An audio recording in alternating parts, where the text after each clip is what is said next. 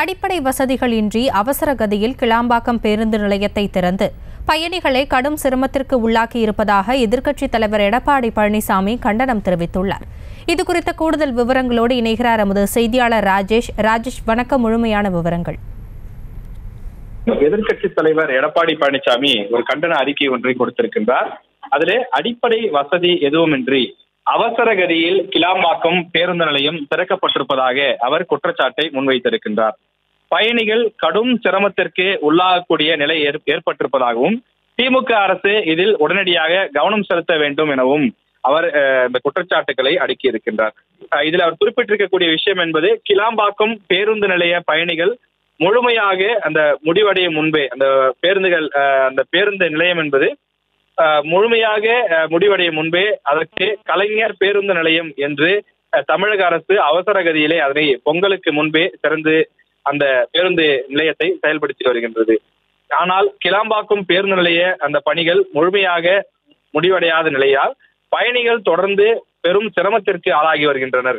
குறிப்பாக சொந்த மாவட்டங்களுக்கு செல்வதற்கு அவர்கள் அஹ், சென்னையிலிருந்து கிளாம்பாக்கம் சென்று அங்கிருந்து அஹ், சொந்த ஊர்களுக்கு செல்வதும் சொந்த ஊர்களிலிருந்து சென்னை திரும்புவோரும் பெரும் சிரமத்திற்கு ஆளாவதை தினசரி பார்க்க முடிவதாக எதிர்க்கட்சி தலைவர் எடப்பாடி பழனிசாமி குற்றச்சாட்டை முன்வைத்திருக்கிறார். அது மட்டும் இல்லாமல் கிளாம்பாக்கம் பேருந்து நிலையத்தினுள் உணவக வசதி பணம் எடுக்கும் ஏடிஎம் வசதி டீ காஃபி பால் போன்ற விற்பனை நிலையங்கள் தண்ணீர் வசதி போன்ற எந்த விதமான அடிப்படை வசதிகளும் இல்லை என்று தெரிவித்திருக்கின்றார்.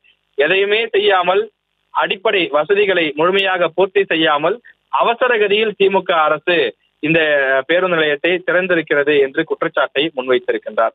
எதிர்க்கட்சி தலைவர் என்ற முறையில் நான் கிளாம்பாக்கம் பேருந்து நிலையத்தில் உள்ள குறைகளை ஊடகங்களுக்கும் பத்திரிகைகளுக்கும் சுட்டிக்காட்டி பேட்டி அளித்துள்ளேன்.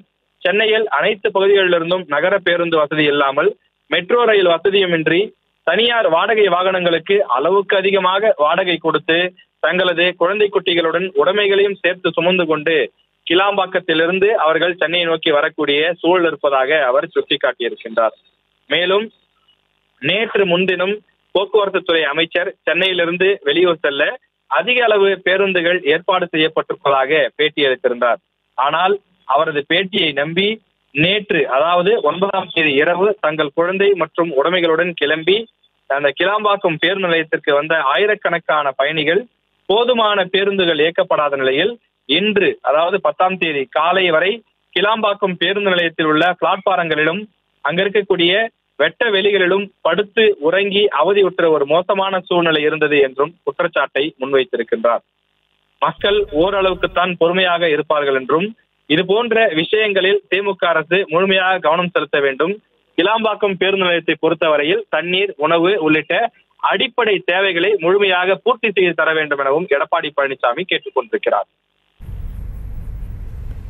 விவரங்களுக்கு நன்றி ராஜேஷ். செய்திகளை உடனுக்குடனும் துல்லியமாகவும் தெரிந்து கொள்ள சப்ஸ்கிரைப் பண்ணுங்க.